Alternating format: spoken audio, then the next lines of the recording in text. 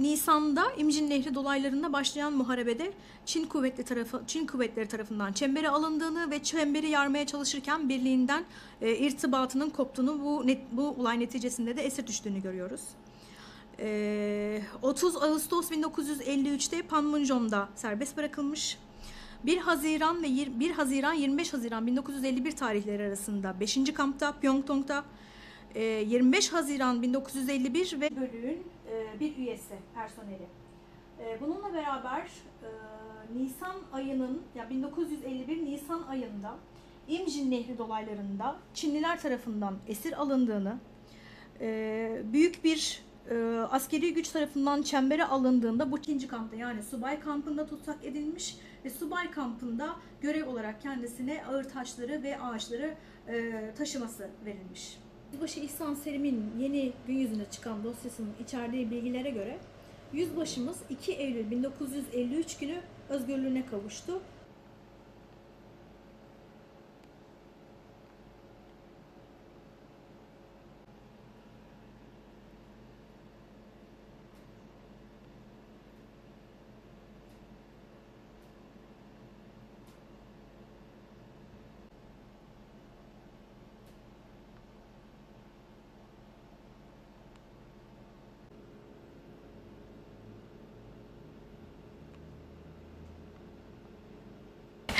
2017 yılında e, Amerika'da College Park National Archives 2'de e, Kore'de Kore Savaşı'nda esir düşen askerlerimiz hakkında bir araştırma yapmıştım.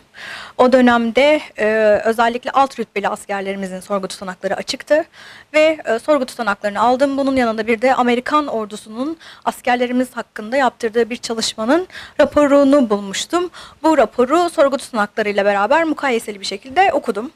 Ee, ancak o dönemde üst rütbeli subaylarımızın dosyaları açık değildi. 2017 yılında yaptığım başvuru e, birkaç gün önce sonuçlandı ve dosya tarafıma e, özellikle Yüzbaşı İhsan Serim'in dosyası ki kendisi en üst rütbeli iki subayımızdan biridir. Yüzbaşı İhsan Serim'in dosyası tarafıma ulaştırıldı. E, daha önce sorgu tutanaklarından ve Amerikan ordusunun yaptırdığı çalışmalardan ben Türk Kore Savaşı'nda Türk Esirler isimli bir kitap yazmıştım. Ancak Kore Savaşı'nda esir olan olan askerlerimizin bu esaret hikayesinin en önemli yani yapbazın en önemli parçası eksikti. E, yüzbaşımızın dosyasıyla beraber onların o kahramanlık hikayeleri tamamlanmış oldu. 1953 yılında Kore Savaşı'nın ardından ateşkes imzalanmasıyla birlikte e, savaşın tarafları esir askerleri takas etmişlerdi. Amerikan askeri istihbaratı Amerikalı askerlerle birlikte Türk askerlerini de sorguya almış. E, bunun sebebi de şu, savaş boyunca esir kamplarından çeşitli istihbaratlar ulaşmış Amerikan ordusuna. E, Amerikalı esirlerin, kara kuvvetleri esirlerinin özellikle sorgu tutanaklarına baktığımızda %50'sinin hayatını kaybettiğini görüyoruz esir kamplarında. Bununla beraber e, ve buna karşın diyelim e, Türk askerlerimiz arasında esir kamplarında hayatını kaybeden tek kişi dahi yok. Ee, yine e, Amerikalı esirlerin komünist Çin kuvvetleriyle esir kampında özellikle %15'inin işbirliği yaptığını görüyoruz. Yani düşmanla işbirliğini yaptığını görüyoruz. Fakat e, sorgu tutanaklarına baktığımızda yani Amerikan ordusunun Türk askerleri üzerine yaptırdığı çalışmaya baktığımızda iki askerimizin düşmanla bir defaya mahsus olarak işbirliği yaptığı, e, bunun da e, Türk askerlerimiz tarafından e, esir kampında organize edilen bir divanı harpte e, bu askerlerimizin işbirliği yapan askerlerimizin yargılandığı, e, yargılanma sonucunda ceza olarak ağır şekilde darp edildikleri ve esaretlerinin sonuna kadar göz hapsinde tutulduklarını görüyoruz görüyoruz. Ee, iki e, ordunun esir askerleri arasında böyle ciddi bir esaret performans farkı oluşunca ki özellikle de Amerika o dönemde Türkiye'ye askeri ve ekonomik yardım yapan bir ülke. Amerikan ordusu e, esir Türk askerlerimizin sorgu tutanaklarını askeri ve sivil kurumlara vererek bilimsel çalışmalar yaptırmış. Bu bilimsel çalışmaların sonucunda raporlar oluşturulmuş. E, bu raporlara ulaşmıştım 2017 yılında ilk defa. E, bunun sonucunda da e, esir olan askerlerimizin sorgu tutanaklarının peşine düştüm. E, ve 2017 yılında yaptığım başvuru, başvuru bundan birkaç gün önce sonuçlandı. Dosya tarafıma iletildi ve bu sayede e, orada esir olan askerlerimizin esaret hayatları ve deneyimleri hakkında daha önce gün yüzüne çıkmamış yeni bilgilere ulaştık.